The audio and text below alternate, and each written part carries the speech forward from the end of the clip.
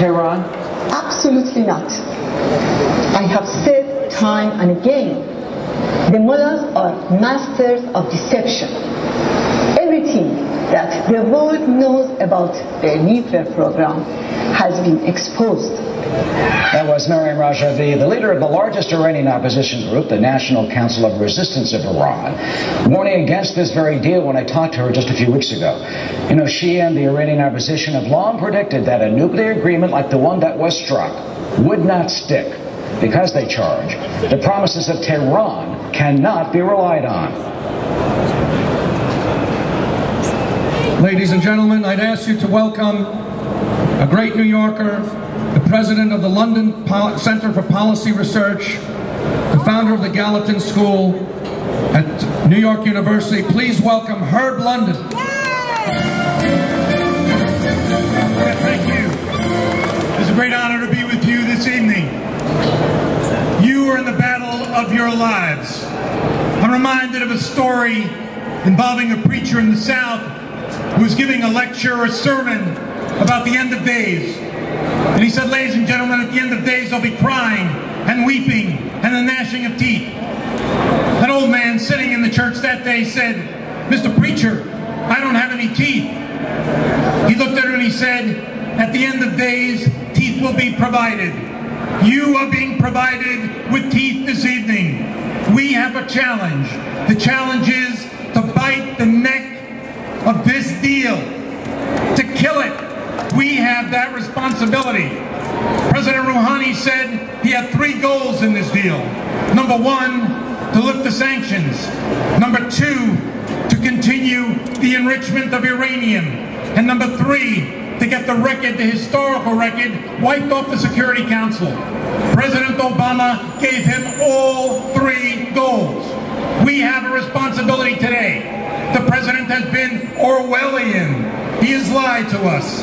We have heard in 2012 there will not be an Iran with nuclear weapons. Yet we find ourselves in a position where Iran will have nuclear weapons. It is our responsibility as citizens of this great country to say no to the president, to say no to Iran, to say no to nuclear weapons, to say no to those who want this deal. That is our goal. Say no. It is a very powerful word, and it's a word that should be heard through the corridors of the Congress. Thank you very much. Thank you, Herb London. Ladies and gentlemen, a man who has done so much for the security of the United States through his research, and so much for this rally to bring us the great speakers who possess the expertise to debunk this debauched and horrible arrangement. To introduce that speaker, please welcome the founder and president of the Gatestone Institute, Nina Rosenwald.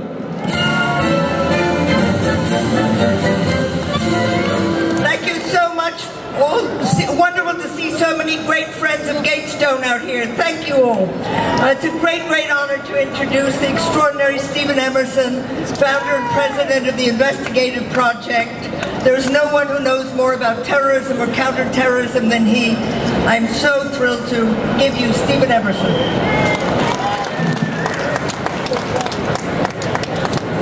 Today I was interviewed on a radio show and I was asked about the fact that um, I, I, pointed out the fact that four Americans, four Americans, despite three years of negotiations with Iran and despite the fact that the United States had $150 billion of assets and had all this leverage against Iran, the Iranians would not release these four Americans, including an American pastor, an American Marine, and an American journalist. And the radio host said, well, if the United States had insisted on that, maybe Iran wouldn't have signed the deal. And I said, well, that would have been great.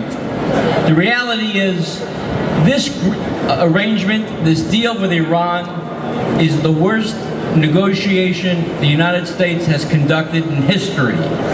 It is an arrangement that will eviscerate our national security and threaten the very existence of the State of Israel and allies even in Europe And ultimately, when, when Iran acquires inter-ballistic missiles, it'll threaten two-thirds of the United States. Will American public wake up and will Chuck Schumer, the Democratic Party, and the rest of the American Congress wake up and realize this is a danger to our country and cannot be wait cannot be stopped unless they vote to override the presidential veto that is expected to be coming. There is only one answer to this treaty. No, no, no. And if you look at the agreement, the 160 pages, which many people haven't, there are two entities listed. No one has realized what these entities are. They're not related to the Iranian nuclear program. One of them is the Iranian Revolutionary Guards. The other one is the Al-Quds Force. Both entities have been named in U.S. federal indictments, the State Department, and in the Office of Foreign Assets Control as being responsible for the killings of hundreds of Americans and dozens of Israelis over the last 25 years. They have been sued in courts and have had judgments leveled against them for more than $20 billion. And yet, they are being removed from the sanctions list, and ultimately, they will be removed from having been indicted. So this agreement will actually free known terrorists who have killed Americans, Israelis, Europeans, Westerners, and Muslims. An agreement that doesn't give anything to the United States except the fact that it levels the playing field for Iran to dominate the Middle East, equate itself as a superpower, and ultimately become a, a, a power that has the ability to destroy all of its neighbors in the Middle East. Its terrorist ability, through the billions of dollars to Hezbollah, through Islamic Jihad, through Hamas, is only going to be enriched over the next six months to a year to six months. Its ability to uh, acquire weapons due, due, to the lifting of the embargo. I, I think people have to realize the nature of how this arrangement has come about.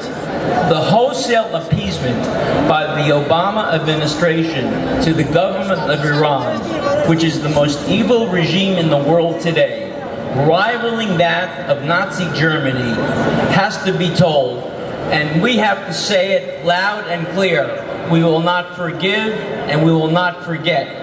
And to every congressman, to every senator, we will be on your tail for every single day till the vote comes for the first vote and the second vote for the next 60 days until you vote to override this deal and kill this arrangement. The president in 2009, when he was running for re-election, said three things. He said, one, I will not, I will not allow Iran to get a nuclear bomb. He said, two, all options are on the table, a diplomatic euphemism for military strike. And three, no deal is better than a bad deal. Well, all three were lies. All three of them he went back on. And since that time, we have a bad deal. Iran gets the bomb, and there's no military capability anymore to deter Iran. So now we have a situation that unless Congress acts, I believe ultimately is going to be left up to a military strike to take out the Iranian capabilities to take out the world. If we don't take out Iran, they will take out us. And if the United States government, which is comprised of you, not Obama, not his Secretary of State, not his administration, not of Congress. It's the American people that decide. And it's up to you to force your representatives, your congressmen, your senators to say no, no, no. Because if you don't, your children will never forgive you, forgive you for not protecting this country from a Holocaust and not protecting the state of Israel from a Holocaust that will occur assuredly, just as it did 70 years ago. So you have a responsibility to do something. Rarely in our lives do we have an opportunity to change history. Now is the time to do it, and it's your responsibility, all of ours. Go do it. Thank you. Thank you, Freedom. Congressmember Allen West. How y'all doing in Times Square? Hey, look at here. I'm not one of these highly educated, easily speaking, kind of intellectual guys. I'm a U.S. Army combat paratrooper. And this is what I want to say. This is the simple message that we should be sending to Iran. When Iran stands up and they chant death to America, all we need to say is, you first. What message are we sending? What message are we sending when we sit down at the table with the number one state sponsor of terrorism? What message are we sending when we sit down with a country that is holding four Americans hostage? No from the last time we had a weakling in the White House when we had 53 Americans being held hostage. Or the only other alternative is to go to war. Well, let me tell you something. The United States of America is about victors. The United States of America is about champions. The United States of America does not surrender to a bunch of black robe, crazed clerics that want to see us destroyed.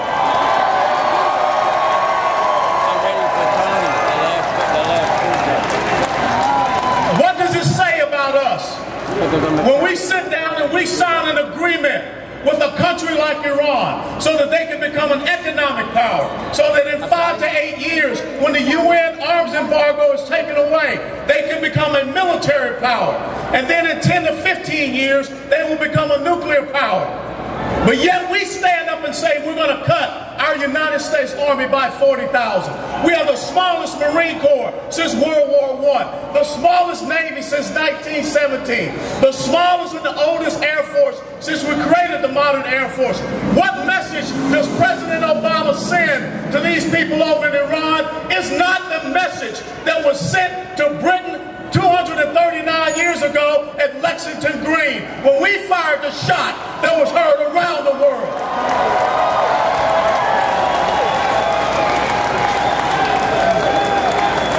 What message does it say to radical Islamic terrorists when we have people that go and kill our unarmed men and women at recruiting stations, at reserve component stations here in the United States of America, and we can't figure out if the kid was depressed, if the kid was on drugs? Well, hell no. He was a dadgum terrorist. That's what he was.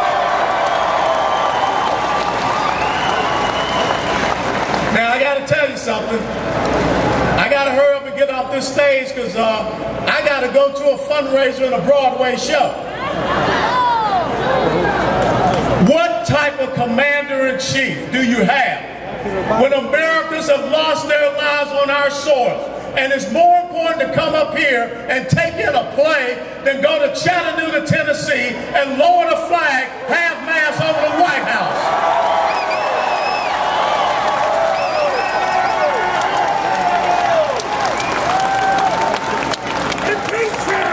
It's very simple, ladies and gentlemen. Alexander the Great had a fantastic quote. And he said, I would not fear an army of lions if they were led by sheep. But I would fear an army of sheep if they were to be led by a lion. This great nation is a nation of lions that is currently being led by the greatest of sheep that we have ever seen in our 239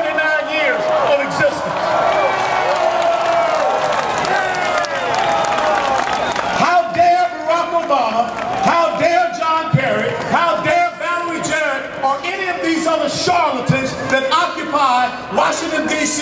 surrender this great constitutional republic to the Republic of Iran.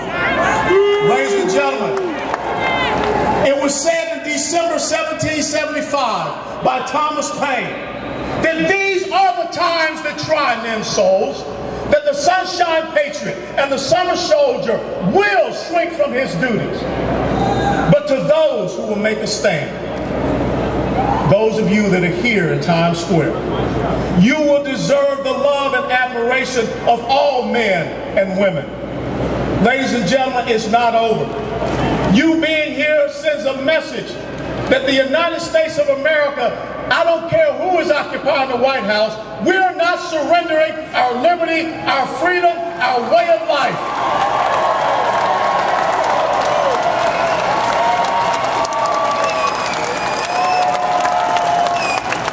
President Barack Obama to know one thing. You may say that you have done something that no one else has ever done. You know why no one else has ever done it?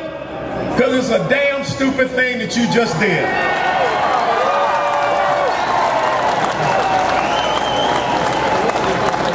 And if people are upset because of what I'm saying, I really don't care.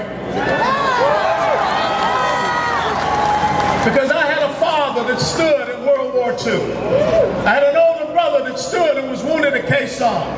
I gave 22 years of my life to make sure that that great beacon of liberty, freedom, and democracy continues to stand. And I have a nephew, I have friends that are still serving on the front lines. And my commitment is to the oath that I took on 31 July 1982 to support and defend the Constitution of the United States of America against all enemies, foreign and domestic, and to bear true faith and allegiance to the same. It's not to anybody's historic event. It's not for anyone to have some special exhibit in their presidential library. It's to make sure that the enemies of America and the enemies of Israel are crushed and brought to their knees. God bless you all. God bless America. God bless Israel. Thank you.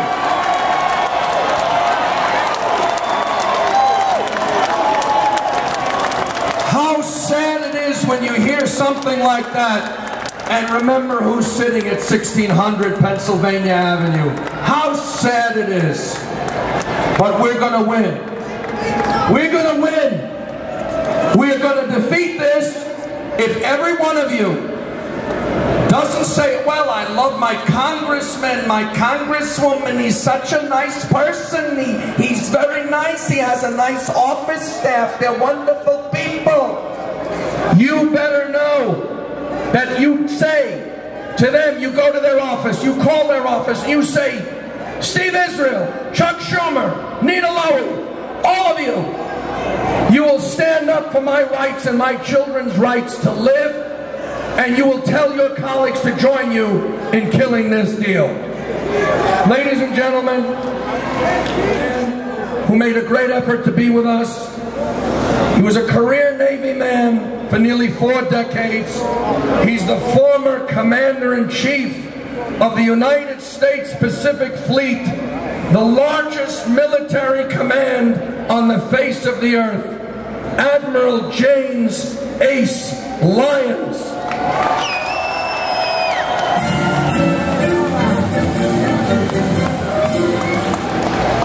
Well, thank you very much. I gotta say, by your presence here tonight, you said it all. You understand. I don't want to Houston, we have a problem. I have to tell you, never in my lifetime did I believe I would witness this great country of ours being taken down and withdrawn from our world leadership by our own administration. Unbelievable.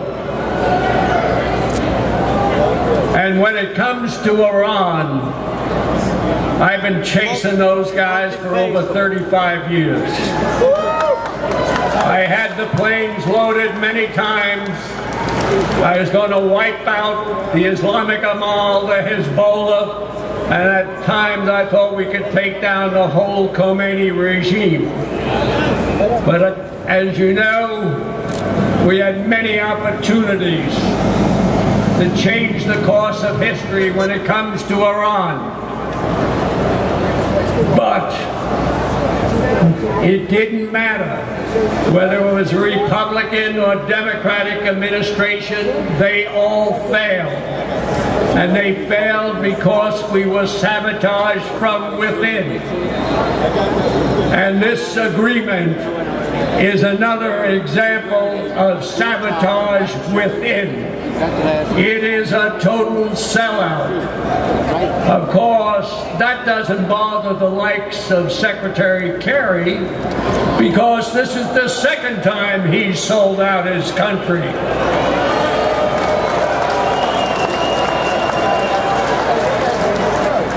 And for President Obama, this is his Neville, Neville Chamberlain peace on our time moment. Ridiculous. Now, we don't have an agreement. What we have are terms of surrender. We guarantee Iran will have a nuclear weapon capability, and just as important, we guarantee they will have the most modern conventional weapons which could jeopardize our position in the Persian Gulf. Now, I've always said these negotiations were a sham. And I want to take you back to when President Obama was candidate Obama in the summer of 2008. And according to Michael Ledeen, he opened up a secret communication channel to the evil Khomeini regime.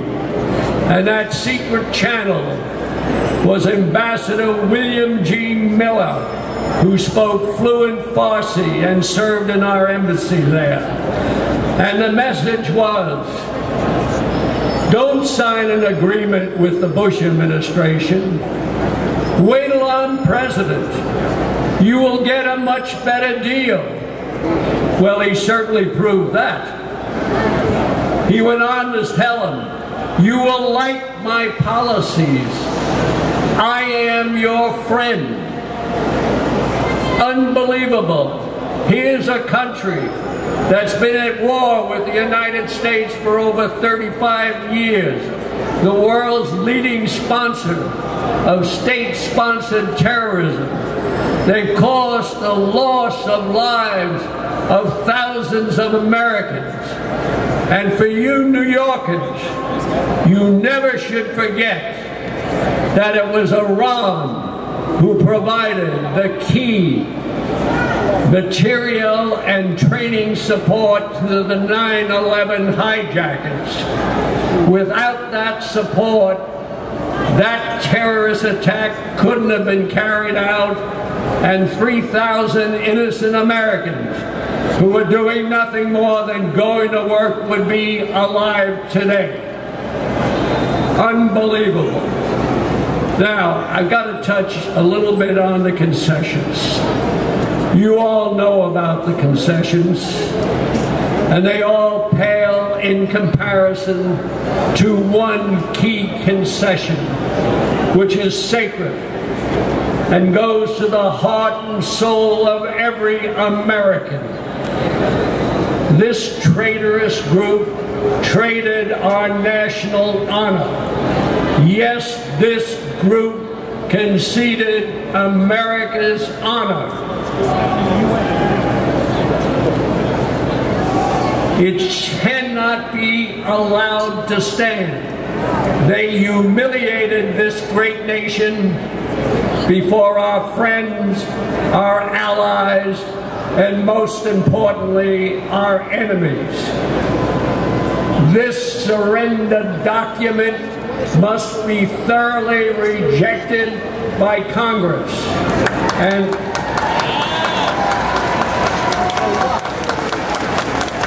And then Congress must exercise its authority to start impeaching executive officials, starting with Secretary Kerry and following President Obama for his illegal and unconstitutional acts. I have to tell you one thing. There's only one sure way to prevent Iran from getting a nuclear weapon capability. And that's with a military strike. And you can take that to the bank. It's great to be with you. God bless America. Jewish Broadcasting Service, which is televising this rally for people throughout America. The rally will be seen tomorrow night at 7 and again Sunday afternoon at 1. We also want to thank, I can't remember everyone, Dr. Paul Brody, who did so much for this rally. So many others. We want to thank the famous Dr. Marvin Belsky. Ladies and gentlemen, Clare Lopez, brilliant woman, the Vice President for Research and Policy Analysis at the Center for Security Policy, a Senior Fellow at the London Center for Policy Research, so many other credentials. Please welcome former CIA operative Clare Lopez.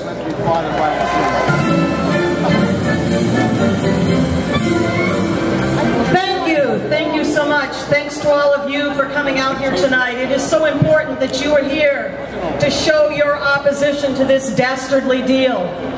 Almost 14 years ago, not very far from where we stand here tonight, and at the Pentagon, and on a plane full of heroes over Pennsylvania, America was attacked by Islamic jihadist enemies. As you just heard Ace Lyons talk about, the authors of that attack were not just Al-Qaeda. About 10 years after the attack, December 2011, Judge George Daniels, Southern District of New York, right here in Manhattan, issued a ruling. He said Iran is co-responsible, jointly responsible with Al-Qaeda and with Hezbollah for the attacks of 9-11. You didn't hear about that much, did you? Go to www.iran911case.com. Iran was never held responsible for those attacks, and nor was it held responsible for any of the others perpetrated against Americans, Israelis, and so many others over the years since that time. From the Marine Corps barracks bombings and the U.S. Embassy bombings in Beirut in 1983, all the way to the thousands of brave American troops maimed and killed by explosives in Iraq that came from Iran and our leadership knew where they came from and they didn't say a word. Is it any wonder that this Iranian regime feels itself invulnerable, untouchable, and so last Saturday, you had the supreme leader of Iran, the Ayatollah Ali Khamenei, in a speech telling how his and his regime's hatred and enmity for the United States and for Israel is eternal and would last forever and never will be. This deal is bad for Israel, it is bad for the world, it is bad for America. We must stop this deal. Thank you.